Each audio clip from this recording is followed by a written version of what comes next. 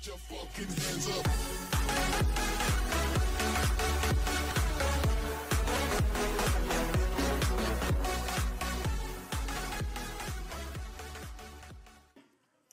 anh em, hôm nay mình làm à, video à, update à, lần 2 hướng dẫn anh em chơi game à, Splinterland. Thì, à, ở cái video trước á, mình có hướng dẫn anh em là mới bắt đầu vào thì chúng ta mua nên mua xe búc và mua những cái cái cái cái cái, cái, cạc. À, thì mua cạc thì chúng ta ưu tiên mua cạc gâu Thẻ thẻ bài thẻ thẻ thẻ gâu á. Cái thẻ bài màu vàng á anh em đó thì sau khi chúng ta đã à, chuẩn bị hành trang rồi thì à, mua được hai cái đó rồi thì chúng ta sẽ đi à, cày ranh cày ranh thì có hai cái một là chúng ta đây chúng ta vào đây để chúng ta tham gia trận đấu để chúng ta chiến thắng thì chúng ta sẽ được cái điểm rating cộng với cái à, yêu cầu power này. À, nó nó nó đủ thì chúng ta sẽ được lên rank mới. À, và một cái nữa là chúng ta đi làm nhiệm vụ. Thì đây là cái một nhiệm vụ nó ở bên này đây là cái nhiệm vụ mình làm xong ở đây. Thì muốn biết nhiệm vụ cụ thể như thế nào á thì à, anh em à, click vào cái chỗ detail á. Bây giờ cái game này nó nó nó lag cho nên là nó nó đang à, nó nó đang ở cái trạng thái này. Chứ còn nếu bình thường là nó nhiệm vụ nó hiện cái tự chữ quét hay là cái chữ ờ, detail anh em kích vào đó thì anh em sẽ biết được cụ thể là nhiệm vụ làm như thế nào. Thì thường thường á nhiệm vụ là như cái nhiệm vụ này của mình á thì là mình phải chiến thắng 5 trận chiến với ờ, cái hệ ờ, hệ đét đó. Chúng tức là mình mình chơi bằng hệ đét và mình phải chiến thắng 5 trận chiến thì mình sẽ được cái thưởng thưởng cái hòm này. Thì cái hòm này á, mình khi mà chúng ta chiến thắng á, thì chúng ta sẽ được nhận phần thưởng là hôm bữa là mình hôm qua là mình có được thưởng 5 cái hòm. Thì mình mở ra. Thì đây mình vô ờ, cho các bạn xem. Đây mình vô cái chỗ này nhé đây này view ờ, view cat này. Mình kích vào chỗ này này. Đây là cái cái túi nha. Thì đây là những cái tôi cái đồ trong cái vật phẩm mà trong cái uh, túi của mình. Thì đây là cái uh, à không không phải. Quên thẻ bài. Đây. Đây là cái thẻ bài các bạn kích vào đây này. Đó ao ao nít này là nó nằm trong cái túi á.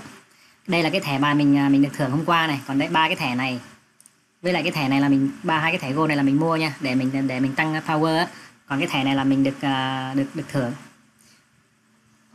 Thì trong cái phần thưởng đó nó có cả cái à, đồng D, DEC nữa. Đó hôm qua mình được 67 đồng. Cái nhiệm vụ này á, nếu mà yêu cầu cái, cái lúc mà để anh em mà kiếm được năm cái hòm á, thay vì một cái hòm thì anh em phải có cái cái quyển sale book này này cái quyển sale book.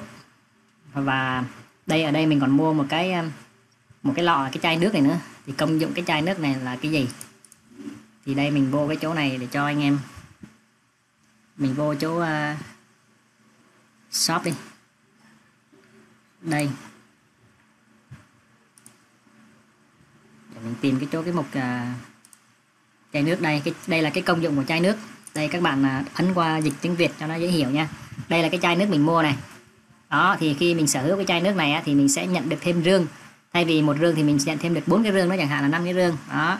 Còn nếu mà mình mua cái chai nước này thì tăng cái tỷ lệ rơi thẻ thẻ gold tức là có thể mình cái xác suất mình nhận được cái thẻ quý hiếm thẻ gold đó và cái à, cái này cũng vậy. Nó nó rơi cái cái cái thẻ huyền thoại nói chung hai cái thẻ uh, hai cái thẻ gọi là quý hiếm á thì à, cái thẻ đó có thể chúng ta sử dụng trong những trận đánh hoặc là chúng ta có thể giao bán.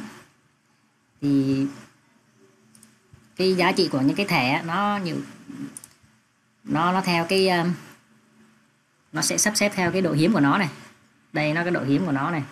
Common này, ray này, epic này, legacy này. Đó, còn đây là cái hệ. Còn à, đây là cái thẻ thẻ thẻ gold này. Thẻ gold bao giờ nó cũng cao hơn thẻ thẻ bạc nữa. Nếu mà nếu mà chúng ta sở hữu một cái thẻ gold này cộng với là cái độ hiếm là legacy đi. Để mình vô để cho anh anh em xem coi là cái cái giá của nó bao nhiêu nhé đây là cái giá mình xếp uh, từ cao từ từ thấp lên cao này. Bây giờ mình xếp từ cao xuống thấp rồi đây cái thẻ này. Đây là cái thẻ gold nha.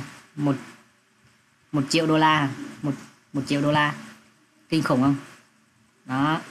Thẻ này nó có cái gì mà đây như cái thẻ này thì nó có hai nó hai có hai cái kỹ năng này đó đây thẻ gold này như cái thẻ này thì nó có có những cái thẻ nó có nó có um, đây như thẻ này có hai kỹ năng này đồng thời này nó có um, nó vừa là một con tướng um, phép thuật mà à không con tướng phép thuật thôi um, tốc độ 3 đây nó có hai kỹ năng này. Từ từ để mình kiếm cho các bạn một con tướng mà nó có nó có một lúc hai cái kỹ năng. À có không tức là vừa um, vừa phép thuật mà vừa là sát thương vật lý á. Ồ, sao mình kiếm không có ta? Khi nãy mình thấy có một con ví dụ như con này đi đây con này con đây là một con uh, cũng thể gâu. Đó kỹ năng của nó nó có một lúc bốn kỹ năng luôn máu thì chỉ có hai thôi nhưng mà kỹ năng của nó này các bạn kích vào để xem. Các bạn muốn biết cái kỹ năng của nó là cái gì á thì các bạn phải hiểu. Thì khi chúng ta xếp xếp tướng á thì chúng ta mới biết cách à, xếp để làm sao mà tăng cái tỷ lệ chiến thắng của chúng ta lên. Như con này này đây là kỹ năng là nhận một máu tối đa mỗi khi bất kỳ quái vật nào chết này. Tức là một khi có một quái vật mà bên phe bên phe mình chết á, thì nó sẽ nhận được máu. Hình như là vậy. Còn đây là tăng tấn công cận chiến tốc độ khi sát thương. Tức là khi mà chúng ta khi cái thẻ bài nào tấn này tấn công cận chiến á, thì cái tốc độ của nó nó nó sẽ tăng lên tăng tăng tốc độ lên. Đó và đây những kỹ năng này nè. Đây là cái thẻ bài vip nè.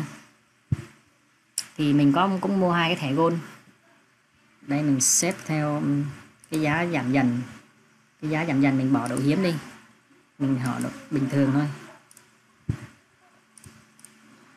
Đây đây là cái thẻ. Ví dụ những cái thẻ đây nhưng đây là thẻ thường nè.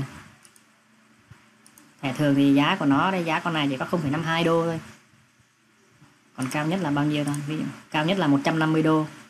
Cái này với độ hiếm là là là là bình thường nhé còn đây là nếu mà độ hiếm là gọi là phổ thông á tức là thấp nhất á. Thấp nhất thì ví dụ con này có 0,21 đô này. Đó. thì nói chung là một cái thẻ bài mà nói ví dụ nó cái độ hiếm nó càng tăng này với lại cái cái uh, nó là cái thẻ gold đó đó thì nó càng ngày nó nó sẽ càng có giá trị là nhiều nhiều nhất và ngược lại. À, rồi ok. Còn cái phần à, cái phần đánh á. Phần đánh thì à, mình à, sẽ chỉ cho các bạn thêm một à, một số cái cái à, cái mẹo để chiến thắng. Ví dụ như bây giờ mình nhiệm vụ mình là mình chiến mình chiến thắng 5 trận mà trong đó là mình dùng cái cái hệ tướng là, là đét đi. Bây giờ mình vô trận này mình thì trong cái hệ đét nó có một cái con nó rất là à, nó rất là, là là là tốt. Mà mình thường mình sử dụng cái con đó để mỗi khi mình mình chơi thì mình hầu như là lần nào mình mình dùng con đó là mình cũng đều thắng hết á. Đó. thì trong cái hệ đét là có một con là trong hệ trong một hệ nữa có con à, hình như là hệ, hệ lửa hay nhỉ? Là có cái con mà con con chó ba đầu đó đó. Cái con đó thì khi mà khi mà khi mà chúng ta xây dựng team lập team này đánh á sắp xếp á, thì dùng những cái con đó thì cái tỷ lệ chiến thắng nó rất là cao. Đó, cái này thì chơi một thời gian thì có thể là anh em sẽ sẽ nhận ra nó có cái quy luật.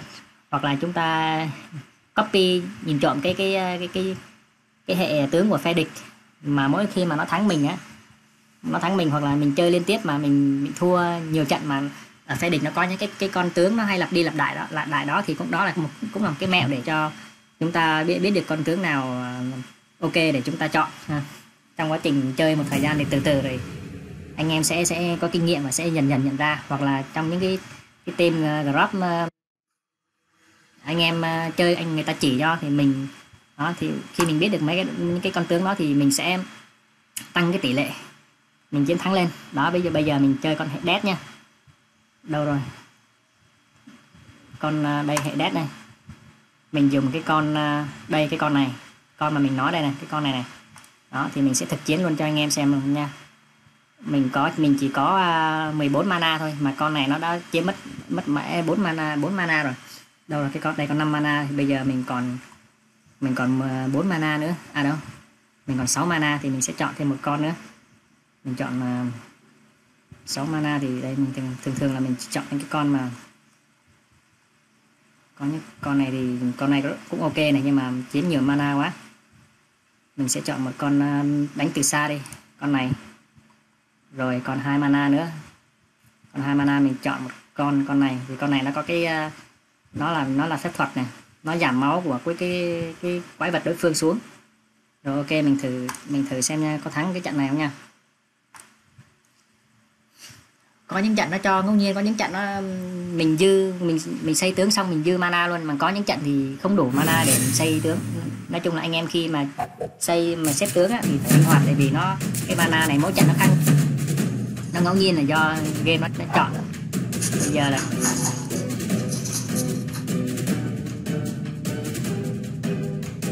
con này bên bên phe đối thủ cũng có một con y như mình. Đó. nhưng mà nó có một cái con này đây hai con giống mình mà có có con này là khác hơn. Đấy, nó có cái kỹ năng này nhắm mục tiêu quái vật cuối cùng của đối phương thay vì quái vật đầu tiên. Tức là khi mà đến lượt nó đánh á nó sẽ không đánh cái con này của mình. Cái con mà mà tăng cưa con sát thương vật lý này mà nó sẽ đánh một trong những hai cái con này.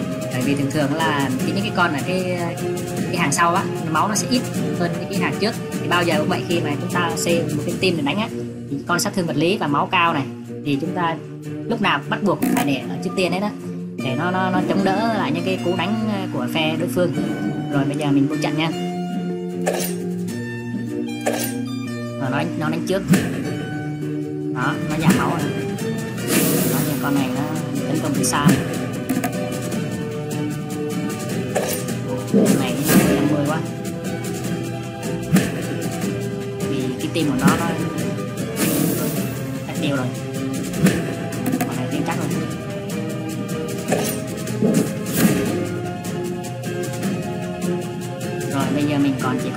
Con mà bên kia rồi xong. Nhìn thế này là cũng biết là đủ biết là mình thua rồi.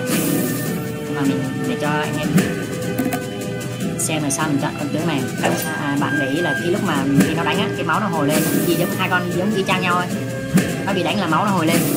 Đó là một trong những cái kỹ năng mà mình rất thích ở con này thấy không? Ba con đánh một mà mình đánh mấy lượt rồi mà chưa chết nếu mà cái cái team này mà mình mình xây có thể mình chọn hai con này này hai con đằng sau này nó hài hòa một tí á thì mình thắng rồi. Đây nó đây còn đây nó phe đó là xây mình xây cái team của nó như thế này có thể mình sẽ học hỏi mình sẽ xây một cái team giống như là cái team của nó. Đó trận này mình thua. Đó, mỗi lần mình thua mình sẽ bị trừ điểm này mình sẽ bị trừ đi điểm. Mình trừ điểm thì mình sẽ bị thụt lùi đây thì cái cái cái cái rank của mình nó bị sẽ hạ xuống nha. Bây giờ mình mình thử đánh lại một trận nữa coi. Con tướng đó là con tướng mà nếu mà anh em mà đã dùng hệ đét á, là anh em nên nên sử dụng. Sử dụng tăng tăng được cái tỷ lệ thắng lên. Rồi, trận này thì nó cho mình 25 mana. Mình sử dụng lại. Rồi, mình tiếp, mình vẫn chọn lại cái con nãy thôi. Các bạn xem này máu nó 7 lần mà sát thương của nó một lần là được hai điểm, tốc độ 2 ngoài ra nó lại còn có một cái phục hồi máu này nữa, đó. Mình vẫn chọn con này bây giờ mình à, chọn pháp thuật đi. Mình sẽ chọn một con à, mình phải chọn một con pháp thuật. Thuật. Đây có thể đây con này con này pháp thuật này. Pháp thuật thì thường thường nó máu nó rất là yếu. Đó, máu rất là yếu. Mà thôi mình, mình chọn một con à, để thôi mình chọn mình chọn tiếp con này. Rồi mình vẫn còn mình chọn con pháp thuật này. Con này nha con này là đánh nó chỉ có một lần thôi nhưng mà nó có thể nhắm vào mục tiêu quái vật cuối cùng của đối phương thay vì quái vật đầu tiên này. Đó, mà mình mình chọn mình sẽ ưu tiên chọn những con máu nó nó tương đối một chút. Ví dụ như con này chẳng hạn máu nó yếu quá nó ít quá. Mà trong khi nó mana mình còn nhiều thì dạy gì mình chọn. Mình sẽ chọn cái con mà nó máu nó máu nó nhiều nhiều chút. Con này là đây con này. Con này máu. Con này là cũng uh, vật lý sát thương vật lý bạn mình chọn con này rồi mình còn 4 4 điểm nữa. 4 điểm nữa mình chọn con nào đây? Mình sẽ chọn một con à, một con sát thương. 4 điểm. Đây con này con này 5 điểm lận. Con này 5 điểm mình không được chọn được nữa rồi. Thì mình mình có thể mình chọn thêm một con đây. Mình chọn con uh,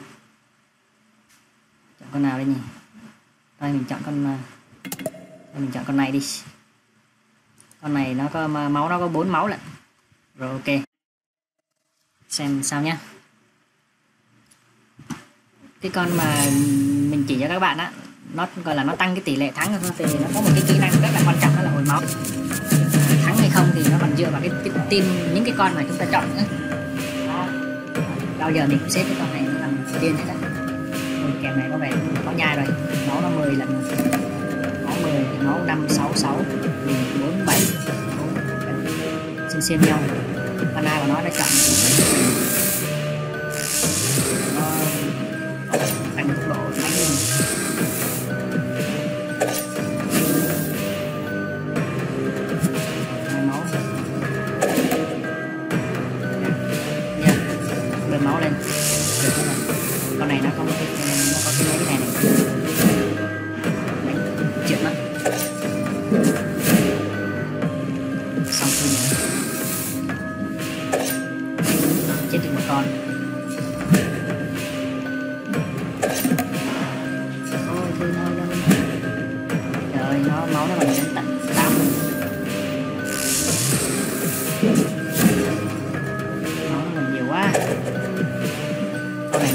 Này này, cái con này này con này mình không có nha. Thẻ bài con này của nó.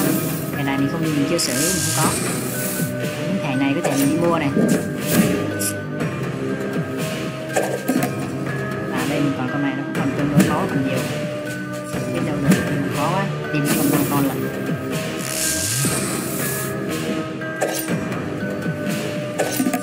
nó hồi máu liên tục thế này. Thì tiêu rồi, nó đánh ba bốn lần, hồi máu mình, hồi máu không kịp cái, cái trận này mình những con này những con này mình gặp đầu tiên luôn. Nó có những cái thẻ bài lợi hại với mình thì thì rất là khó để thắng rồi trận này mình thua rồi. Hôm qua thắng thắng liên tiếp bốn năm trận mà sao hôm nay review mà toàn thua người ta. Rồi mình à, tiếp tục chỉ anh em thêm một con tướng hệ hệ, hệ ớt nha đó con tướng này là cái con chó ba đầu này. Đó con này là cũng, à, cái con mà khi mà chúng ta xây xây team á để đánh á thì nên chọn nó. Sau đó là chúng ta phối kết hợp chọn những cái con tướng sau con tướng đánh từ sau con tướng phép. Giờ mình vô trận này. Hệ đét á, thì chọn cái con à, cái con nãy mình chọn á còn hệ hệ ớt á. Hệ à, tức là cái, cái lá cái lá. Chúng ta chọn là nó ba đầu đây hẹn hệ con mặt quỷ này. Nó ba đầu của mình đây. Con à con chó ba đầu ở bên này bên này cũng chó ba đầu luôn. Cái con này nó cũng giống như cái con hệ đét á. Nó tăng này, nó phục hồi máu được này. Mà con chó ba đầu mình tốc độ đánh à mình đánh ít hơn con này con này thì nó hai xong ba chết rồi. Thử xem.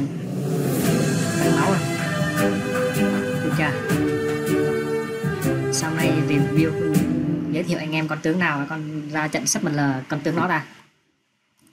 Thì cái này là cái um, cái kinh nghiệm mình chơi thì mình thấy uh, sao thì mình chỉ anh em vậy thôi. Còn uh, thắng hay không là nó còn tùy thuộc vào những cái con mà kết hợp với cái con cái con uh, tướng mà mình mình mình mình đề cử nữa. Đó chứ không cái con tướng mình nó chỉ nó chỉ tăng cái tỷ lệ phần trăm thắng thôi. Có thể cái hôm nay mình xếp team nó chưa được hợp lý cho lắm cho nên là mình thua à, chứ không phải là cứ anh em thấy thua là thấy mình ờ, ờ, ờ, nói sai nói trật lất đâu ha. Tại vì hôm qua mình thắng rất là nhiều khi mà mình chơi cái hệ team dead á. Team dead mà mình chơi cái con tướng thế này á. Rồi ok, rồi còn một cái phần nữa là mình nói là cái cái cái gai ha. Cái bang hội này, khi mà anh em cố gắng mà thà nhập vô cái bang hội nào đó thì mình sẽ được nhiều quyền lợi hơn. Ví dụ cái bang hội nào mà nó còn chưa, nó chưa đủ người á. Như cái bang này chẳng hạn, mình mình có gửi à, yêu cầu vào mấy à, nhiều lần nhưng mà không biết là do game nó bị lỗi hay sao mà mình chưa có vô được. Mình giờ mình thử à, gửi yêu cầu nó xem sao. Anh. Nè, nó ghi nè, yêu cầu của bạn đã được tham gia ban hội đã được gửi này. Rồi. Bây, đó, bây giờ mình đợi nó xử lý thôi, khi nào nó có nó sẽ báo mình. Đó, mình vào ban hội thì mình sẽ tăng tăng cái cái quyền lợi của mình lên. Hôm nay mình định mình mua cái à, cái con này này để cải thiện cái tỷ lệ rơi thẻ tức là khi mà chúng ta hoàn thành nhiệm vụ hoặc là qua một cái qua một cái mùa sau đó là à, game nó tính à, nó, nó tính điểm nó thưởng á nó sẽ cho chúng ta quà thì mua những cái này nó sẽ tăng tỷ lệ mình lên nhưng mà cái giá nó hơi cao cái nãy mình mua những cái giá nó quy ra tiền như là 100 đô thì phải. Cái giá nó cũng nếu một số anh em mà là tiền mà còn khiêm tốn thì đây, đây là cái số tiền nó hơi lớn ha. Ừ, nó bị lỗi gì không biết. Ờ. game tạm thời nó bị à, lỗi gì đó như là mình à, mình click nó nó, nó, nó không chạy. Để cho anh em thấy cái giá của nó mà. Nhưng mà nó đang bị lỗi thế này. Thôi chắc mình à, bỏ qua mình vô không được nó đang bị lỗi.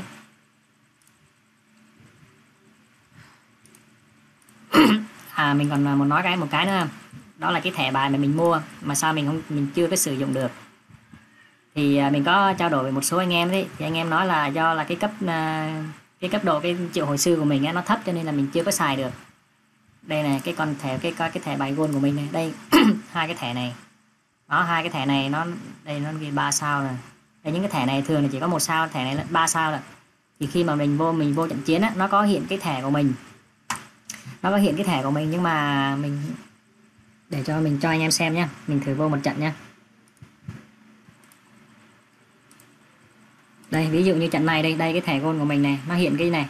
Cấp độ quái thú này bị giới hạn bởi cấp độ triệu hồi sư đang được chọn, tăng cấp cho triệu hồi sư của bạn để sử dụng quái vật cấp cao hơn. Tức là mình muốn sử dụng cái con tướng này á, thì cái con tướng mà mình chọn này sư này.